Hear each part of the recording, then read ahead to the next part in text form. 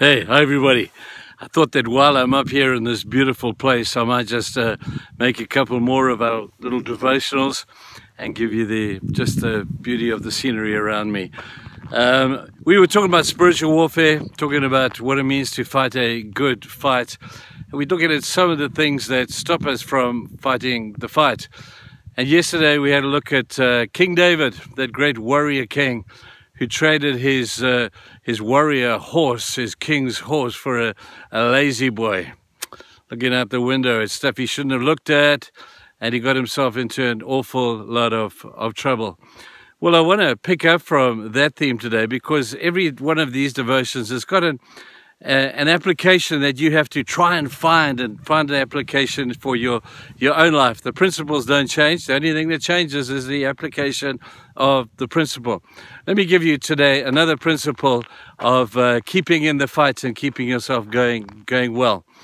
You know, one of the things that King Saul got wrong, he was David's uh, predecessor, and uh, he messed up a number of times. He got soft on the enemy.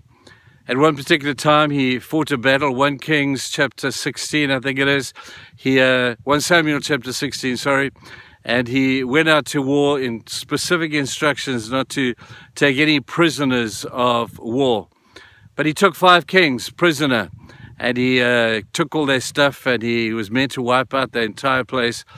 So when Samuel came, he, he lied and Samuel basically said to him, Saul, you've taken prisoners of war. You know what God wanted you to do. You know full well that God wanted you and instructed you to wipe out the entire group of these uh, this enemy. And now look what you have done.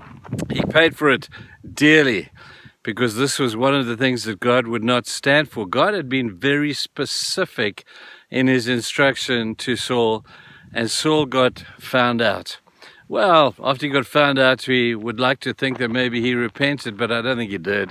It would indicate that the tears or the crocodile tears of remorse, which sometimes look a little bit like repentance, were what Saul did. But uh, Samuel said to him, Saul, it's just uh, too late. You have taken prisoners of war against the specific instruction of God. Now, here's the application for us so far. In the war that we have spiritually, keeping our minds right, keeping ourselves on focus, keeping ourselves in the fight for the kingdom of God, sometimes we take prisoners of war as well.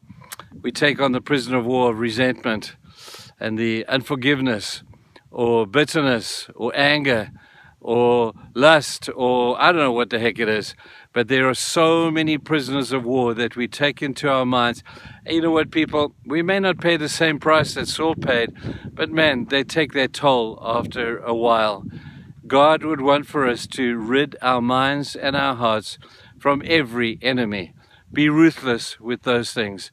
Be ruthless with those things that hold you back. All those things that you know are there. You can hide it from us, but you can't hide it from God and God knows what your prisoners of war are. Compare that with Joshua when he took five kings captive. He knew what to do with prisoners of war, and he had those kings wiped out. Now, that's the aggressive attitude that maybe we as believers need to have against sinful prisoners of war that we keep in our own minds, thinking that we're going to be okay, thinking no one's going to know. But there comes a time when all is revealed. If not now, certainly then. And I hope, people, that you will look into your lives as I will be looking into mine and just see if there are things that maybe displease God, things we're allowing to harbor into our minds or into our hearts, that at the end of the day, we're going to pay a huge price for that.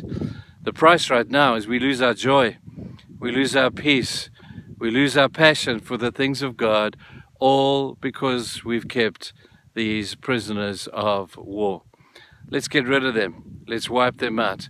Don't be soft on the devil, people. Jesus wasn't. He stood on his head and he crushed him into the ground.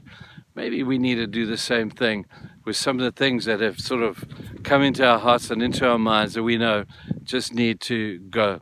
One last thing on this. Joshua, when he took over the promised land, even he, as great as a guy as he was, he didn't do a full job. He didn't drive out all the enemies from the land. And I would encourage you to go and read the first couple of chapters of the book of Judges and go and see what the consequences were for him because he didn't do that. Huge consequences for the whole nation. I hope you'll take this and apply it as I will be hoping to apply it into my life. But uh, look forward to seeing you soon. Uh, we'll be back uh, very soon now. Have a great day, people. See you soon. Bye.